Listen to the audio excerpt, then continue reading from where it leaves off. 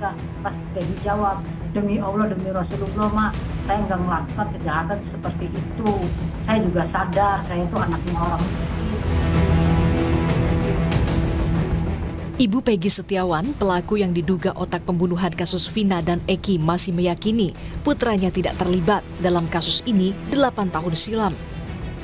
Kartini menyebut Peggy Setiawan tidak berada di Cirebon 8 tahun silam saat Vina dan Eki tewas secara tragis akibat penganiayaan dan pemerkosaan yang dilakukan geng motor.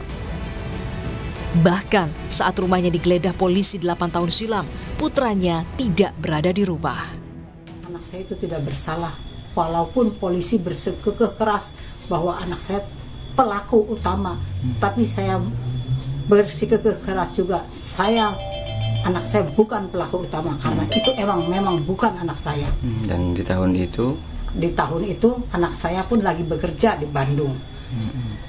nah waktu penggerebekan 2016 juga anak saya tidak ada di tempat lagi hmm. masih kerja di Bandung Hmm. Alhamdulillah. Nah pas penggerbekan sekarang pun anak saya lagi ngechat di Bandung juga. Sementara saat menggeledah rumah Peggy Setiawan, usai berhasil menangkapnya, polisi meyakini penangkapan dan penggeledahan sudah sesuai prosedur. Sejumlah barang bukti pun diamankan oleh polisi, seperti ijazah, raport, foto yang berkaitan dengan Peggy Setiawan. Penangkapan ini mem membuat tabir dugaan adanya salah tangkap itu? Kami mohon doa daripada uh, masyarakat banyak, tentunya dari pihak kepolisian bekerja sesuai dengan SOP prosedur yang berlaku. Jadi kami uh, sedang bekerja dan mohon doanya. Bisa dipastikan itu. itu tidak salah tangkap? Insya Allah. Keluarga Vina mengapresiasi kinerja polisi yang berhasil menangkap salah satu otak pembunuhan Vina, Peggy Setiawan. Namun, keluarga juga menilai jika proses penangkapan Peggy yang sudah menjadi buronan polisi selama 8 tahun terjadi sangat cepat setelah kasus ini kembali mencuat. Yaitu rasa syukur, bahagia, uh, dan ucapan yang terima kasih. Namun, uh, tentunya kami juga uh, tidak bisa menyampaikan hal-hal yang tidak baik ya perihal uh, desas-desus di belakang menyatakan jangan itu salah tangkap, salah tangkap itu. Kalau bahagia ya bahagia dan senang gitu. Cuma ya jadi pertanyaan kami ini kok cepat gitu. Ternyata cepat gitu ya ditangkapnya gitu, Mbak.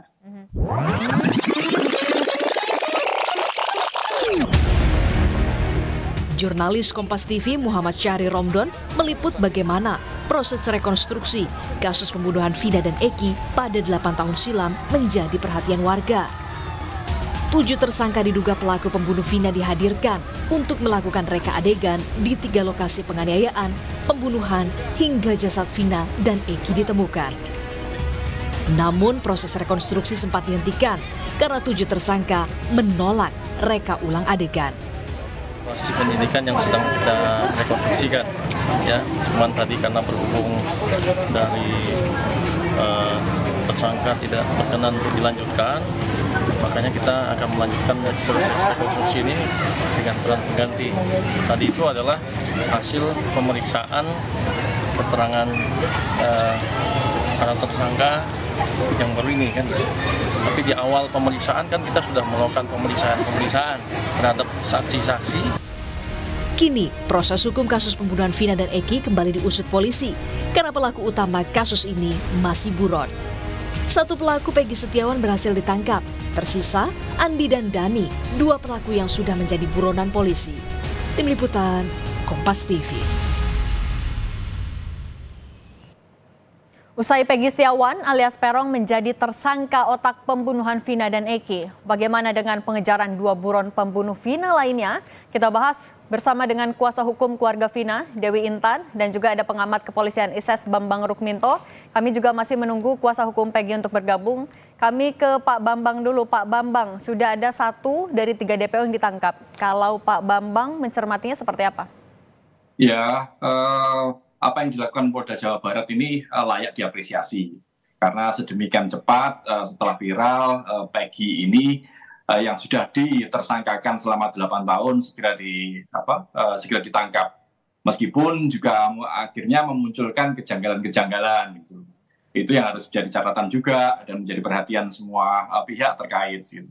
Makanya uh, terkait dengan pemeriksaan uh, Peggy ini uh, juga harus ada uh, pengawas uh, baik internal maupun eksternal agar tidak berkembang isu-isu uh, bahwa ini nanti muncul ada intimidasi, terus uh, apa uh, kekerasan untuk memaksa uh, apa tersangka itu membuat pengakuan-pengakuan yang tidak semestinya seperti itu karena uh, di masyarakat sudah uh, berkembang uh, apa uh, ber, berkembang uh, polemik terkait dengan uh, kasus ini. Oke, Pak Bambang. Uh, Pak Bambang sempat menyinggung juga soal adanya kejanggalan. Kalau yang dari catatan Pak Bambang, kejanggalannya apa aja, Pak? Ya, uh, mengapa delapan uh, tahun tidak ditangkap? Itu salah satu uh, muncul pernyataan dari Polda karena ada BAP yang uh, dicabut dari delapan tersangka yang lainnya. Ini menjadi aneh Artinya uh, untuk mentersangkakan seseorang itu harus mendapatkan penyidik harus mendapatkan bukti-bukti yang kuat, bukan hanya sekedar dari, pengakuan apalagi ini pengakuan saksi atau apalagi ini pengakuan dari tersangka 8 orang itu. Makanya uh, kalau kemudian itu dicabut, uh, penyidik memiliki bukti-bukti yang kuat, seharusnya proses itu tetap berjalan. Tapi faktanya tidak, selama 8 tahun dengan alasan BAP dicabut, proses itu kemudian berhenti. Ini yang menjadi janggal. Artinya uh, penyidik hanya lebih mengutamakan pengakuan dari tersangka yang lain, padahal bobot dari pengakuan se seorang yang ditersangkakan itu ini tentu sangat sangat lemah sekali. Apalagi kemudian muncul isu ada intimidasi, uh, uh, terus kekerasan untuk mengejar pengakuan.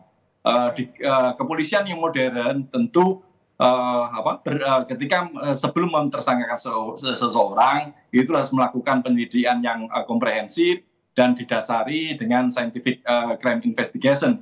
Artinya uh, semua bukti-bukti itu harus bisa dipertanggungjawabkan secara ilmiah. Apa uh, ter terkait dengan otopsi, kemudian terkait dengan uh, forensik maupun yang lainnya. Uh, muncul juga uh, apa uh, pernyataan bahwa uh, tersangka yang satu orang yang yang ditangkap ini DPO ini juga melakukan kekerasan seksual. Apa buktinya? Seperti itu. Itu semua harus dijelaskan oleh penyidik agar tidak muncul asumsi-asumsi uh, ke mana-mana seperti itu. Oke, sekarang saya mau ke Mbak Dewi Intan, kuasa hukum dari Vina. Mbak Intan, kalau melihatnya sudah ada satu dari tiga DPO yang ditangkap sejauh ini, dari keluarga menanggapinya seperti apa, Mbak?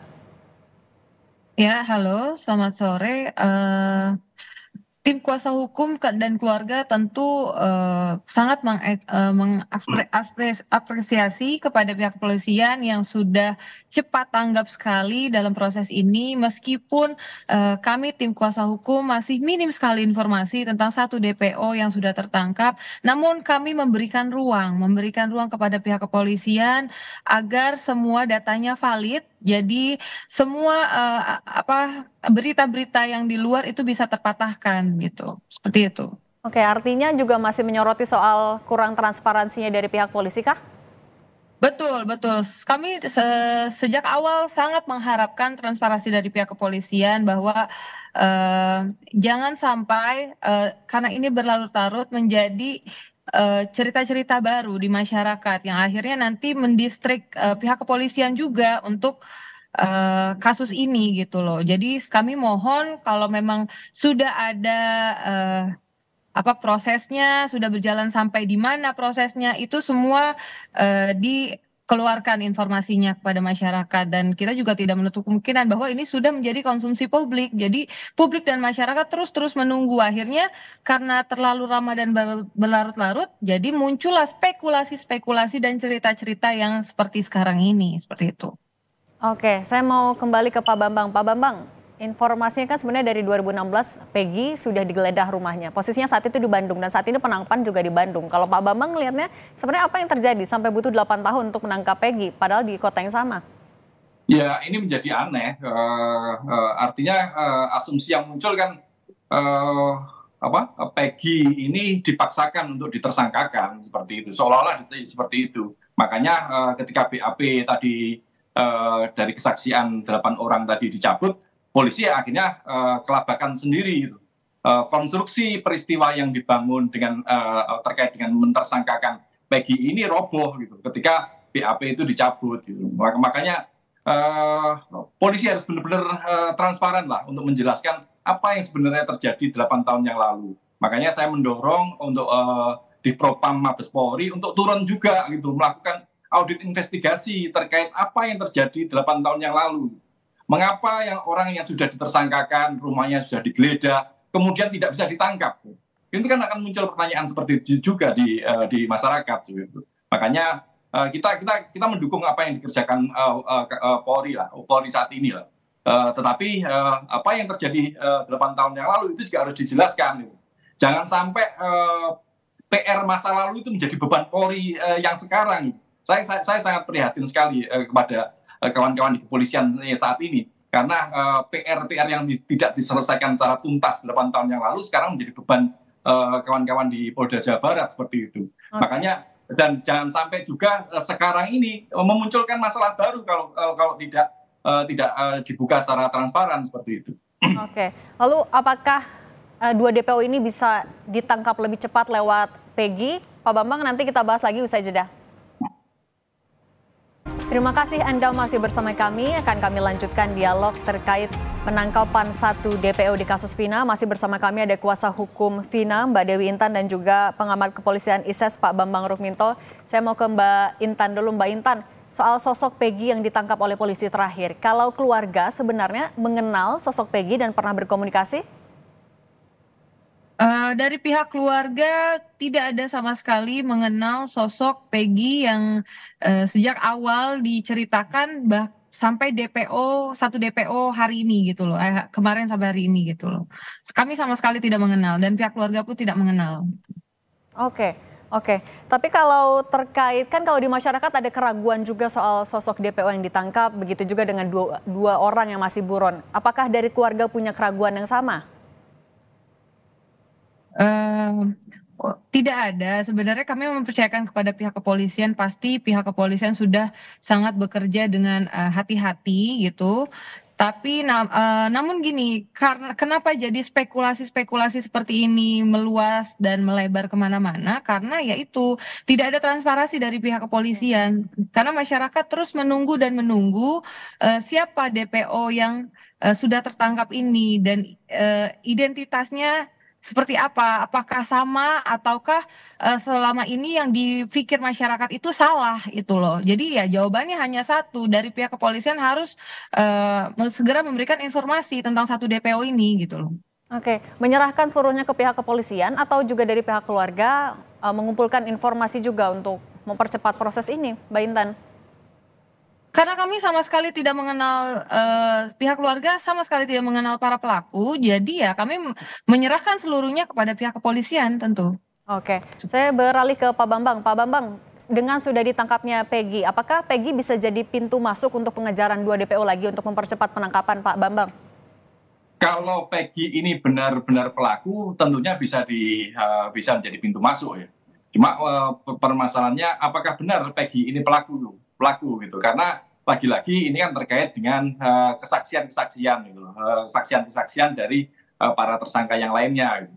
Kalau kemudian uh, apa uh, tambahan lagi apa sih peran Peggy dalam uh, kasus ini? Gitu. Uh, uh, pernah sempat muncul uh, pernyataan bahwa Peggy ini adalah otak dari uh, peristiwa tersebut. Kemudian Peggy ini juga uh, melakukan kekerasan seksual pada korban, misalnya seperti itu. Ini semua kan harus dibuktikan gitu ada ada bukti-bukti uh, konkret yang yang dikemukakan oleh kepolisian apa misalnya hasil uh, forensik hasil otopsi semuanya harus dijelaskan posisi Peggy ini di mana gitu. uh, kalau hanya sekedar pengakuan-pengakuan ini tentu sangat lemah sekali gitu. apalagi BAP BAP yang memberikan kesaksian ini dicabut jadi dasar mentersangkakan Peggy ini apa gitu. Hmm. Makanya ini yang harus harus segera dikemukakan oleh kepolisian. Jangan sampai mengulang lagi uh, kesalahan uh, asumsi yang muncul di masyarakat terkait dengan uh, ter apa uh, terpidana saka tatal misalnya uh, yang apa merasa diintimidasi dan sebagainya. Jangan sampai ini nanti berlarut-larut uh, Peggy ini pun juga uh, diperlakukan sama misalnya uh, dengan dengan intimidasi dengan uh, yang lain-lainnya uh, yang yang membuat pengakuan-pengakuan yang sebenarnya tidak dilakukan oleh dia. Gitu.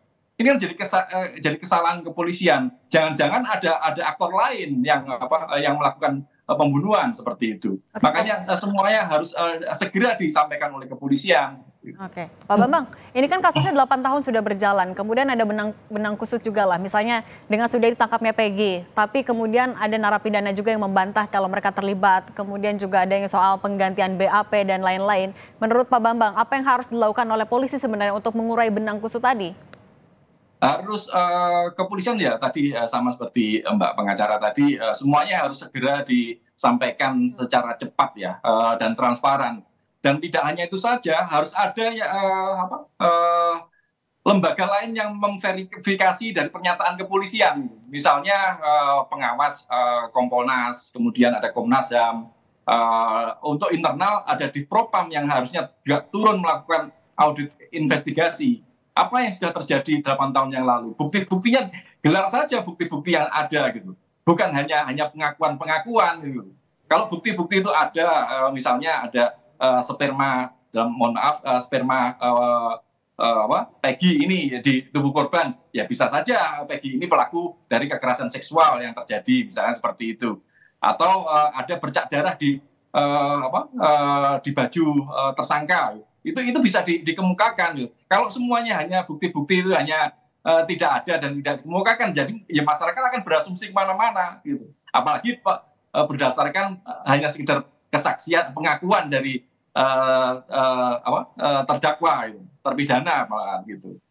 Saksi awal yang tadi uh, sempat disampaikan di Kompas uh, ada sak, dua saksi kunci yang sebenarnya dan uh, belum pernah dihadirkan di pengadilan. Itu kan menjadi uh, pertanyaan lagi di masyarakat ke mana mereka? Kenapa tidak dihadirkan di pengadilan seperti itu? Iya, dua saksi kunci tadi. Oke, Pak Bama saya beralih lagi ke Mbak Intan. Mbak Intan, soal dua orang yang masih buron lagi. Pasca Peggy sudah ditangkap, apakah juga polisi sudah ada komunikasi menyampaikan update pengejaran dua buron lagi sudah sampai mana? Belum ada Mbak, belum ada. Bahkan ya jangan jangankan ke dua DPO lainnya, satu DPO yang sudah tertangkap pun kami masih minim informasi gitu loh. Jadi ya, tapi tetap kami memberikan ruang kepada pihak kepolisian, jangan sampai uh, kami uh, dan masyarakat mendistrik uh, pihak kepolisian dalam penyelidikan ini. Jadi ya kami minta harap akan segera pihak kepolisian memberikan informasi itu sehingga benang kusut akhirnya asumsi-asumsi masyarakat semua terpatahkan gitu loh oleh pihak kepolisian yang sudah memberikan informasi tentang satu DPO ini apakah betul DPO ini yang e, dianggap selama ini 8 tahun buron ataukah salah seperti itu.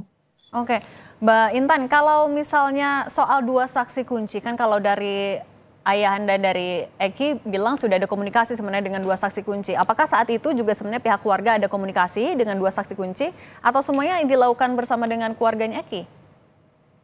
Belum ada, belum ada informasi tentang dua saksi kunci tersebut. Mungkin uh, ke keluarganya Eki saja gitu. Tapi ke, ke, ke keluarga kami dan tim kuasa hukum belum ada. Oke, oke. Untuk mempercepat proses ini artinya catatan dari pihak keluarga apa saja Mbak Intan? Ya catatannya itu tadi kembali lagi segera pihak kepolisian kan kami uh, keluarga almarhum Vina sudah mempunyai kuasa hukum. Uh, silahkan pihak kepolisian jika butuh apa informasi ya segeralah kita saling uh, bertukar informasi gitu. Jangan menutup uh, informasi jangan menutup juga jalan gitu kan akhirnya jadi kita bisa saling bekerja sama apakah yang dibutuhkan pihak kepolisian apakah yang dibutuhkan uh, tim kuasa hukum seperti itu agar uh, prosesnya segera uh, terungkap dan segera mendapatkan keadilan kasus ini tidak berlarut-larut dan tidak berasumsi berasumsi seperti yang sekarang ini seperti itu. Oke, terakhir saya mau ke Pak Bambang. Pak Bambang, soal dua saksi kunci tadi yang ternyata tidak dihadirkan di persidangan. Sekarang untuk mempercepat penanganannya, apa yang harus dilakukan oleh polisi soal dua saksi kunci ini, Pak Bambang? Ya, dua saksi kunci ini segera dihadirkan oleh kepolisian, gitu Uh, kalau kita melihat kasus ini uh, dari awal, uh, ini ramai karena muncul kearifan lokal dalam tanda kutip ya, ketika uh, yang di yang ada yang mengaku uh, kerasukan arwah uh, Vina, kemudian uh, apa uh, memberikan kesaksian-kesaksian seperti itu dan kemudian uh, dari uh, awal uh, kasus yang dia di semula kecelakaan tunggal kemudian menjadi uh, pembunuhan gitu, pembunuhan bersama-sama seperti itu. Uh, ini kan harus di, di, dituntaskan oleh kepolisian kepolisian tentunya eh, apa, eh, tidak bisa memaksakan pola-pola seperti eh, kearifan lokal tadi untuk dijadikan bukti-bukti ilmiah gitu loh. Eh, ini sangat-sangat naif sekali gitu. Eh, lembaga pendidikan ilmu kepolisian jadi eh, hilang ketika apa itu itu dijadikan eh, basis untuk penyelid- penyelidikan maupun penyidikan sebuah kasus pembunuhan gitu. Makanya semuanya harus harus dibuktikan secara ilmiah gitu. Oke. Eh, melalui scientific eh, Oke. crime investigation tadi gitu. Oke. Otopsi, terus forensik dan lain-lain itu harus harus segera digelar, dikemukakan oleh pada masyarakat. Oke. Jangan hanya sekedar mengejar popularisme saja Oke. eh, bahwa ini ada apa, pembunuhan ra- pembunuhan bersama-sama, ada pemerkosaan, semua masyarakat mendukung semuanya harus ditangkap. Tapi fakta-faktanya Baik. tidak demikian. Eh, Oke. proses hukum itu harus untuk mencari eh, keadilan bukan hanya sekedar menjalankan prosedur saja Baik. ini harus eh, harus menjadi apa eh, mindset di penegak Oke. hukum kita ini eh, seperti Oke. itu Oke, Pak Bambang, terima kasih banyak. Kita tunggu apa langkah polisi untuk menjamin transparansi kasus ini. Terima kasih Pak Bambang Rukminto, pengamat kepolisian ISES. Kemudian juga ada kuasa hukum Vina, Mbak Dewi Intan. Terima kasih, sehat selalu. Terima kasih. Terima terima kasih